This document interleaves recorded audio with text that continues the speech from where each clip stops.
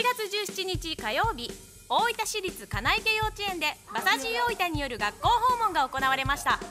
大分市主催のプロスポーツふれあい促進事業の一環として行われた今回の学校訪問。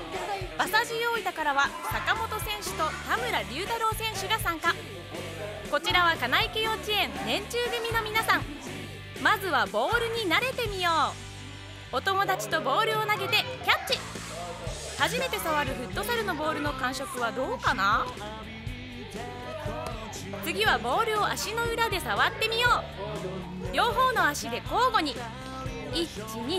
1212今度はそのまま少しずつ進んでみよう。実はこれフットサルのドリブルの練習なんです。このように選手たちも試合で足の裏を使っています。だんだん上手になりましたね。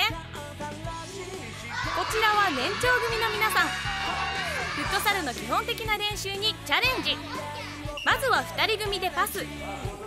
お友達に優しくパスしてみよう。手は使ってはいけませんよ。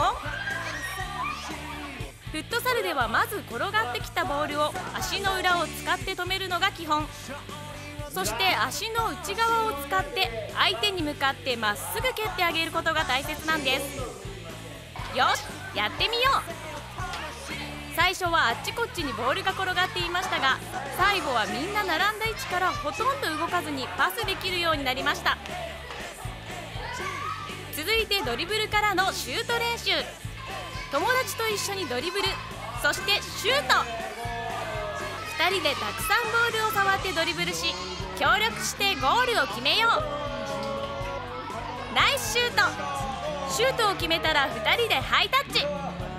周りのみんなも一生懸命応援してくれています。